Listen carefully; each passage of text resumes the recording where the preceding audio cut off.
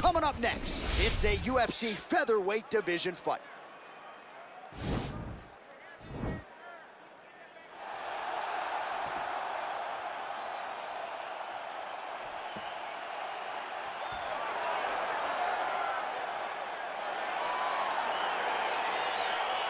All right, so here we are back inside Bell Center, Montreal, Quebec, Canada. This is as loud and as knowledgeable a crowd as we'll experience really all year on the UFC Roadshow. It's a great fight environment.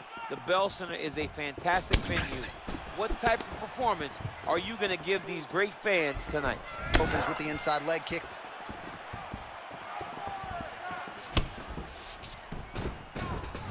Well, perhaps a sign of things to come as he lands a kick there.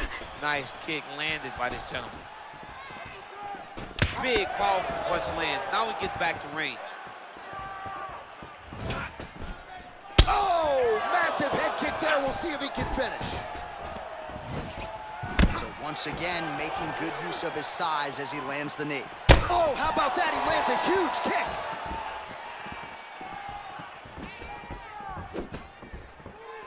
Ninety seconds to go in our opening round.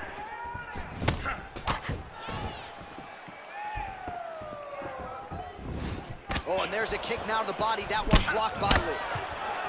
Big punch lands over the top. How's he gonna follow this one?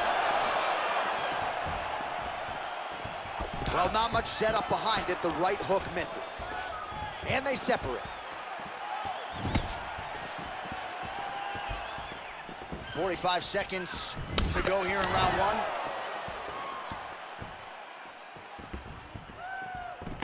Oh, collar tie. Oh, it's a hell of a kick right there. He told us Thursday that he was going to be kick-heavy tonight, and that is certainly a step in the right direction. He is landing that strike. He's very effective with it. Second round, straight ahead. While we now take a look back at some of the highlights from that last round, DC, a lot for the replay guys to choose from. I mean, these guys are going to be very busy trying to find what replay to show you guys. Lands on both sides of the octagon. Both guys fought great. What a phenomenal round.